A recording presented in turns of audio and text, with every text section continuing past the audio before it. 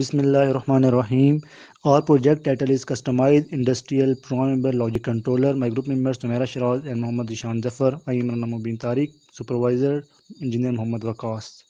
This project is Customized Industrial Programmable Controller. The aim of the project is to develop secure and low-cost programmable logic controller consisting of following major components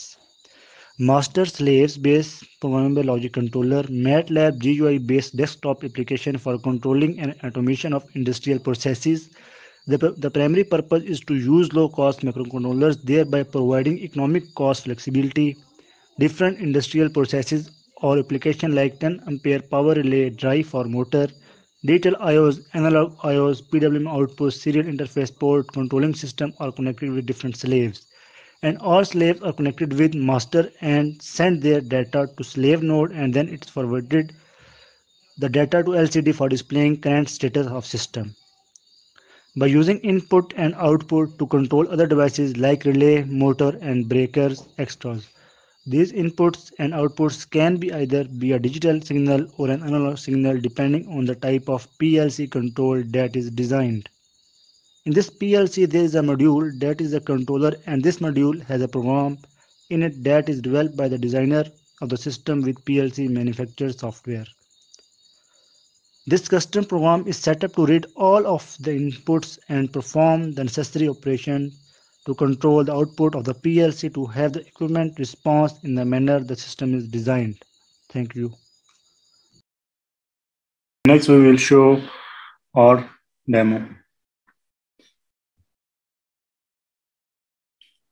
First ये हमारे पास जियो बनाई है हमने और ये master है जिसके through हम निकट कराएंगे आगे अपने हार्डवेयर के ऊपर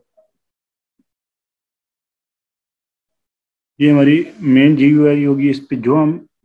कमांड्स देंगे वो हमें आगे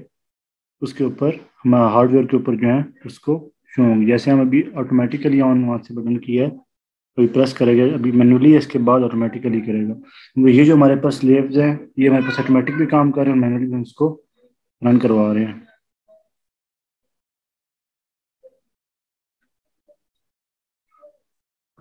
अब ये ऑटोमेटिक टैंक लेवल कंट्रोल हो रहा है पहले मैनुअली हो रहा था ये हम सब जी के थ्रू वहां से हम कमांड देंगे और यहाँ वो चीज़ें शो होंगी और आगे उनकी कमांड्स एक्टिव होंगी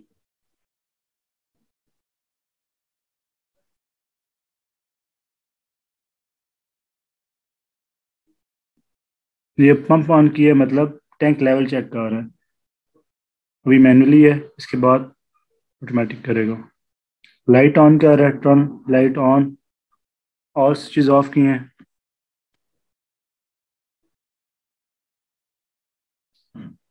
नेक्स्ट हम अब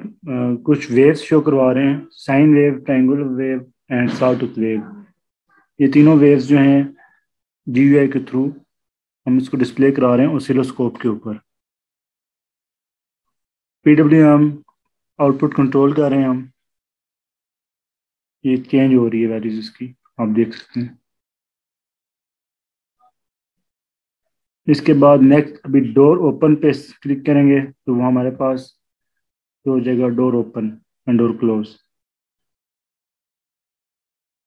next हम बताएंगे सीरियली कम्युनिकेशन कैसे होती है इंटरफेस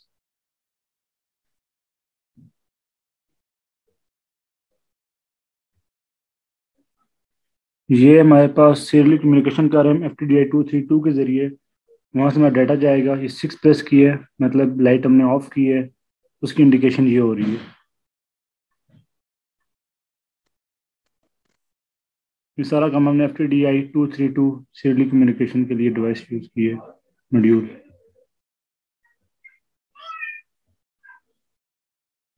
नेक्स्ट हमारे पास ये एक मास्टर सिलेबस में हमने मैनुअल रूम टेम्परेचर कंट्रोल कराया है और ऑटोमेटिक रूम टेम्परेचर कंट्रोल करवाया अभी ये मैनुअली आ रहा है हमारे पास हम कर रहे हैं इसको मैनुअली उसके बाद ये हमारी जी यू आई है जो इसको बताया मैंने आपको पहले ये हमने जी यू आई के पीछे सारा जो कोड है हमने कुछ बटन क्रिएट किए हैं ड्रैग एंड ड्रॉप करके गाइड की कमांड के थ्रू तो ये सारा कोड है उसका You're working, Gaurav. Thank you so much.